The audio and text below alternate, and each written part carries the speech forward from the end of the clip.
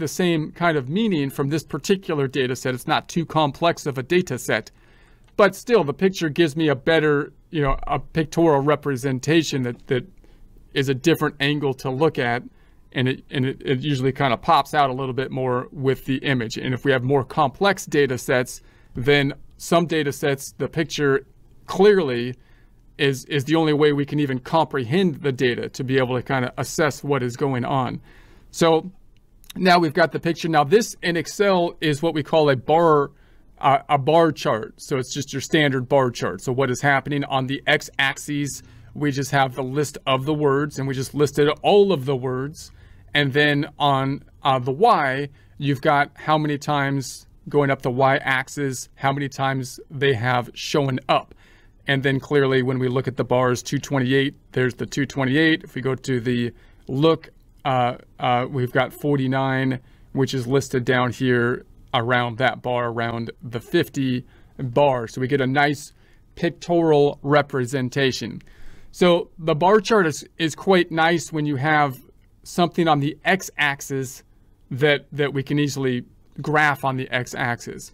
We'll take a look at data later where we have numerical data possibly on an x-axis and it's less easy for us to just use uh, each of these each of these data points as a point on the x-axis, axis, and that's why we're going to use basically a histogram, which is a, can be a little bit confusing because it looks kind of like a bar chart, and we can actually create a histogram using the bar chart tool in Excel. We'll take a look at uh, later as well, but just that's the precursor to that. Now, if we did the same thing with other texts like uh, Harry Potter, this is with Harry Potter, these are most frequently used words in the series. Most frequently used words in the series. So I just looked these up, you know, online. They say these are the most frequently wor used words. Now note that if you if you went in and you counted all the words that show up in Harry Potter and and you looked at this, you might say, okay, now I've got this this information might not be the most useful because I have a lot of thes, a lot of ands, a lot of twos, a lot of ofs. So you might you might say, hey, I'd like I need to sort my data to be a little bit more restrictive, possibly. Possibly these are not. So now they've they've taken another step and they said display frequency of non-stop words in the whole series.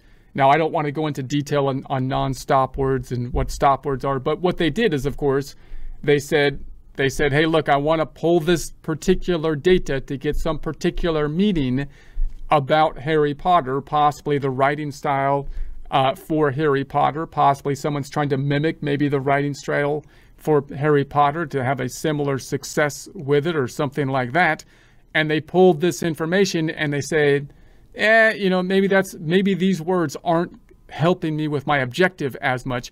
What if I try to come up with a term of saying, I'm going to look at this data set and try to determine non uh, non-stop words and try to extract those particular words. And possibly then I'll get a set of words that are more meaningful. So you can see how they're using techniques here to, to trim down the data set according to the objectives that are that are in that we have. So here, so the same thing would happen. We would want to sort the words possibly by the frequency, how often they show up. This is just another format of the bar chart. So we did the same thing. We've got the list of words here. And then instead of having the bar chart with the x-axis having the words and then the count on the y, now we've got the x-axis having the count of the words and the the uh, the words on the y. So now, of course, this one is for the is the highest count of the 51 that lines up this way.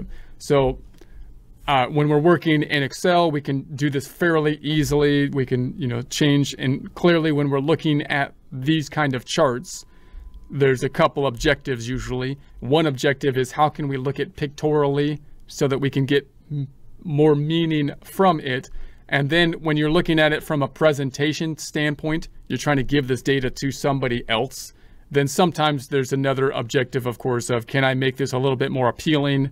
Possibly changing the colors just for the appeal of it, possibly changing it from a bar chart that's more standard that pos- that people have seen more often to to turning it on its side so that it doesn't, you know, remove any information from the data, but is more visually appealing or at least different, maybe.